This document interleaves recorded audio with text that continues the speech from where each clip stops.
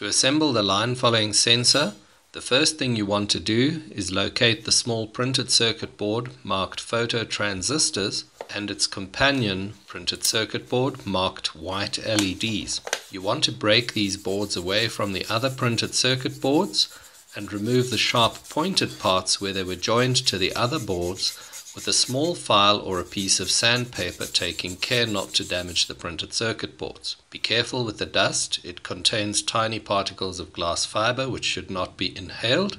So take a ball of Prestik and use it to pick up the dust and clean the boards. Now you will want to locate the parts. Be careful not to mix up the white LEDs and the phototransistors as they look very similar. The way to identify the phototransistors is if you look into them you will see there's a tiny small square black piece of silicon. Inside the white LEDs it looks like a milky yellow color. Starting with the light transmitter printed circuit board marked white LEDs, we locate the 220 ohm resistors that can be identified by their red, red, brown and gold stripes. You can do a Google search to find a nice resistor color code chart download. You can also download the ElectroDroid app to your smartphone which will help you decode resistor values. In the electronics kit there are several packs of parts. Be careful not to mix up the small resistors that are meant to go on the printed circuit board with the larger resistors that are meant to go on the breadboard. The smaller resistors are 1 8 watt resistors and they are the correct size to go on the printed circuit board. The larger resistor, which you can see here in the video, is a quarter watt resistor and it is intended for use on the breadboard and not on the printed circuit board. Here we are inserting the 220 ohm resistor on the board. The white silkscreen markings with the number 220 inside the circles show you exactly where to put them on the board. The resistors can go in any way around, in other words they do not have a positive and a negative lead. With many other electronic parts, it is important they go in the right way round, but that's not the case with resistors. The larger resistor, as you can see here, is too big for the allocated space, and you won't be able to get it to lie down properly on the printed circuit board. So let's remove it and replace it with the correct part.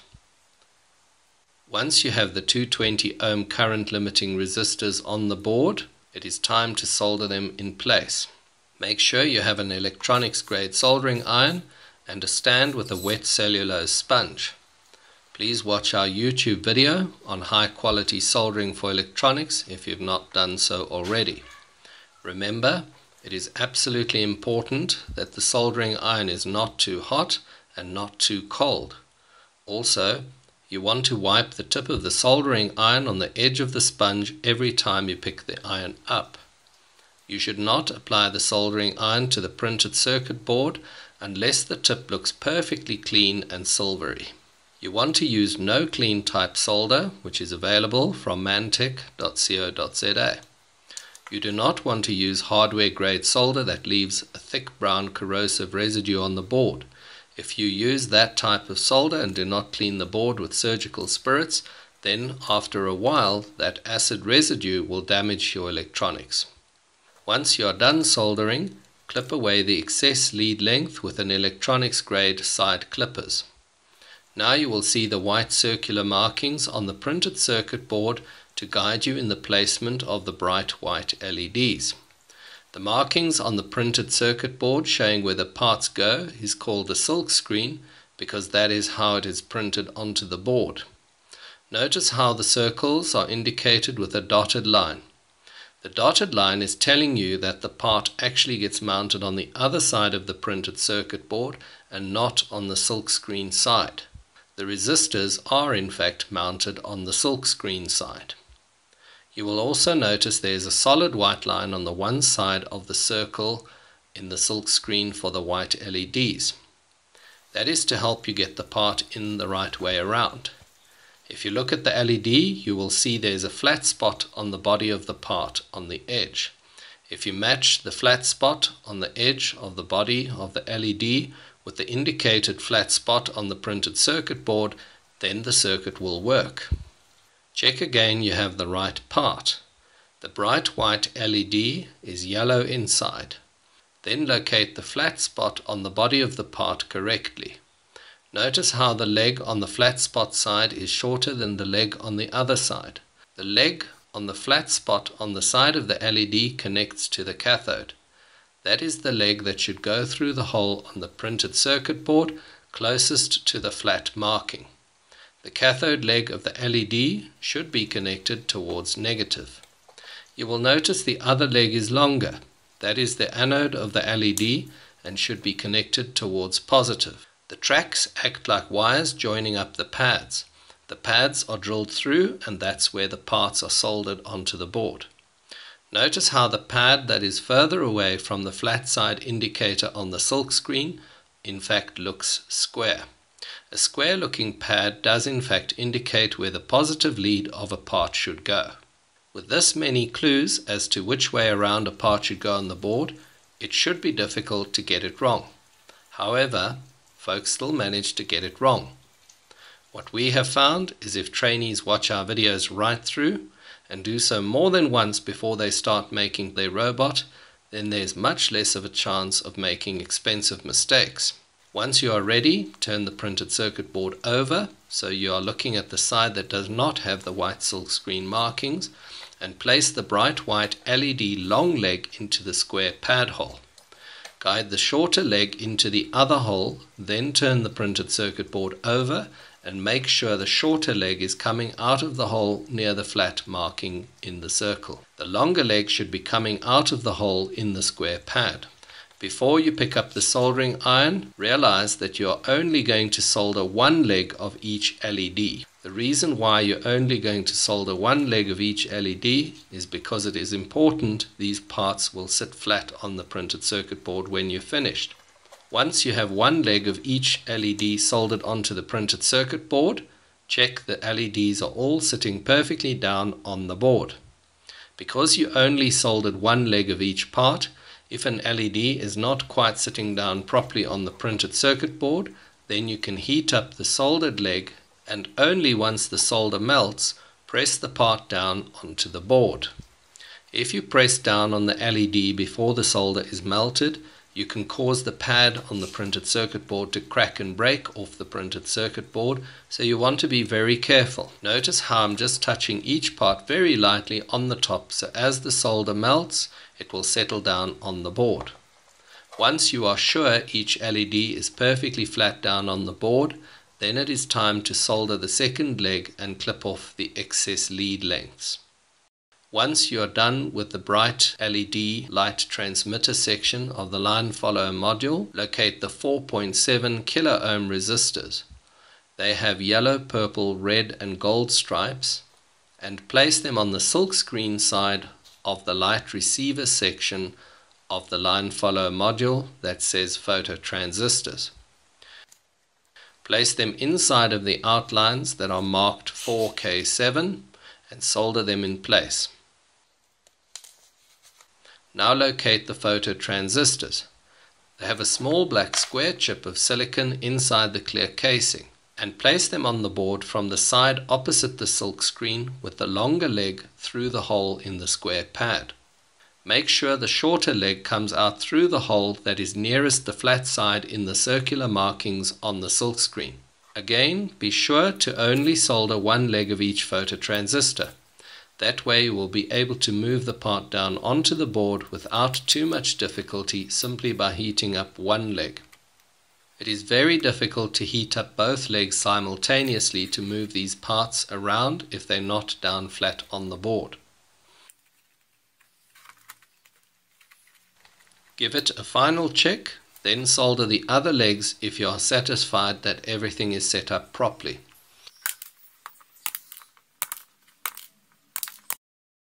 To connect the line following module to the robot, you can simply solder the wires directly into the module, but it is probably better to put a connector onto the board. There are two types and both can suffice. In this video, I'm going to use a single inline pin female header. So we begin by breaking off a length of 5 pins to cater for 5 volts, ground, the left, right and middle sensor outputs. Again, As is good practice with all parts that have multiple pins, we hold the part in place with small blobs of Prestik so it does not fall right out the board while we are soldering it in. We only solder the two outer pins of the header strip and remove the blobs of Prestik and check that it did not move before or while we were soldering it in place. If the part shifted slightly, we can heat up the solder and move the part around a little until it is in place properly. Once we are sure the part is properly located, we can solder all the other pins. Remember to clean the tip of the soldering iron on a wet cellulose sponge every time we pick it up from the soldering iron stand and before we apply the solder iron to the printed circuit board or parts. Now we have finished the two halves of the line following module, it is time to join them together at a 30 degree angle. Notice how the white LED transmitter board with the rounded leading edges will be sitting slightly above the square-edged phototransistor receiver board. The LEDs and phototransistors on both boards will be pointing downwards at the surface of the competition maze. Now we break some male header pin strip into lengths of 2 and insert the short end into the white LED section and solder them in place at a very slight angle. Again, it is very important we only solder one out of the two pins on each side. This will allow us to heat up one pin to move things around slightly where it would be difficult to heat both pins to move things around. The reason why the white LEDs are mounted slightly above the phototransistors is so that the phototransistors will only pick up the light that bounces off the maze table surface. Once the one side of the pins are secured, Move the boards around relative to each other until you're seeing an angle of about 30 degrees, which will place a pool of light just under the phototransistor on the surface of the maze table.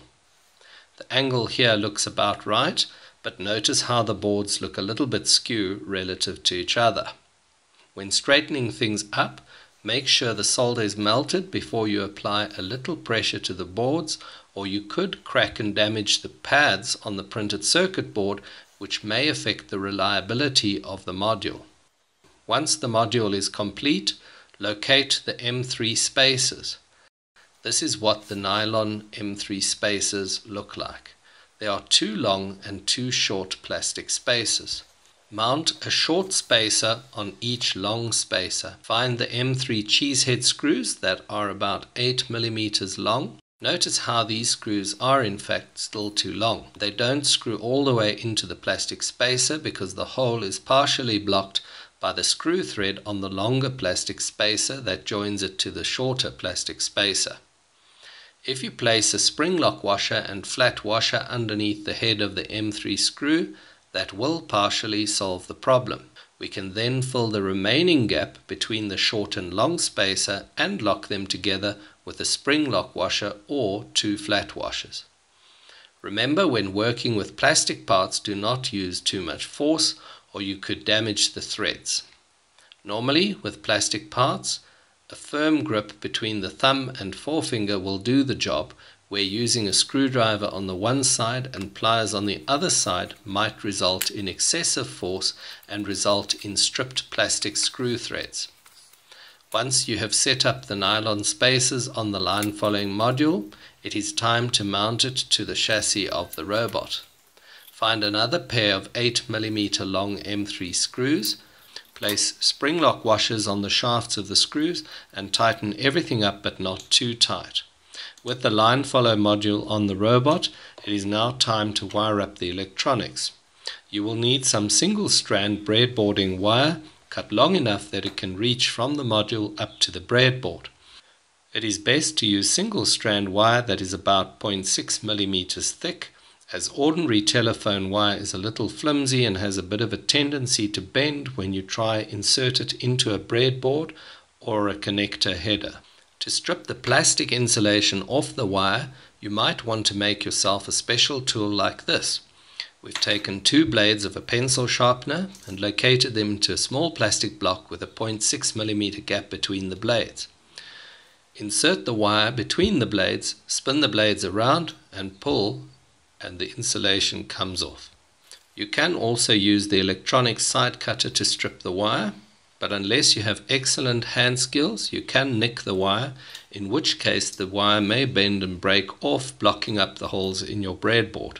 If you don't have the time or skills to make your own wire stripping tool, you can buy one like this that works properly, but they're not cheap. Wire stripping tool made from pencil sharpener blades, spaced just slightly wider than the wire, works by cutting through only the covering insulation when one inserts the wire down the slot and spins the device around. Then, when you pull on the wire, the covering insulation layer comes off without hurting the wire inside. By comparison, one needs to use a lot more skill to get a similar result with the side cutters. To make it easier to film, we have removed the line following module from the robot to put these wires into the header. Insert a blue wire into the ground socket, a red wire into the socket marked 5 volts, green, pink and yellow wires into the left, middle and right hand sensor signal connector sockets. Now you can screw the module back onto the robot chassis. Bend the wires and feed them through the holes and insert the ends into the breadboard. Link the blue wire with another piece of blue wire to the ground header strip. Link the red wire to the 5 volts header strip. You can switch the robot on now and the bright white LEDs should light up. You can take a permanent marker pen and write L and R on the left hand and right hand sides of the line following module to prevent confusion in future. Link the yellow wire to analog 0, link the pink wire to analog 1 and link the green wire to analog 2. Analog 0 is marked A0, analog 1 is marked A1 and analog 2 is marked A2. In this shot we can see what the line following module looks like mounted on the robot with the white LED section canted backwards at about 30 degrees. Notice how each LED makes a pool of light on the surface of the maze just under its corresponding phototransistor. Notice how bright the pool of light is when reflecting off the white surface and how most of the light is not reflected back into the phototransistor off the black electrical insulation tape. Connect the USB cable to the robot, then test the line following module. Open the serial monitor and look at the messages the robot is sending back to your computer. When the robot is over the black line, you should see the message middle over black. When you move the robot to the left, you should see the message right sensor over black. When you move the robot to the right, you should see the message left sensor over black. When the sensors are completely off the black line and they're all over the white surface of the maze, you should see the message white, white, white. When the sensors are all over the black line, you should see the message black, black, black. If things are not working perfectly like this, check and double check your wiring again. We typically do not see our own mistakes, which is why we make them in the first place, so get a friend or your instructor to take a look at the wiring of your robot. If the wiring is perfect, and when you upload the code to your robot there's no error messages, then you can also adjust the on-off threshold level of the analog inputs of your robot which may be required according to how bright or dark the lighting in your robotics room is. The 10-bit analog to digital converter in your robot maps a range of 0 through 5 volts to a range of 0 to 1023 in 1024 steps. One can experiment with changing the threshold to 250, then try 350, then try 450, and then try 550 to see how that affects the ability of the phototransistor to see whether it is over black or white. Bear in mind the height of the sensor module above the table surface also has an influence on the performance of the line following module. One can raise the module up by removing the short nylon spacer. One can also lower the sensor by using longer screws and washers, etc. But if you put the line following module right down on the table, it usually doesn't bounce the light back nicely and doesn't work very well. If the line following module is up too high, it becomes more susceptible to interference by ambient light. Another useful way of monitoring what is happening with the line following module is to place three LEDs on the breadboard and upload the program in datasheet 6.07 which will switch an LED on if its corresponding phototransistor is over the white maze surface and switch the LED indicator on the breadboard off if the corresponding phototransistor is over the black line. We would like to thank you for watching this video. Please click on the red subscribe button if you would like to watch more of our exciting robotics videos.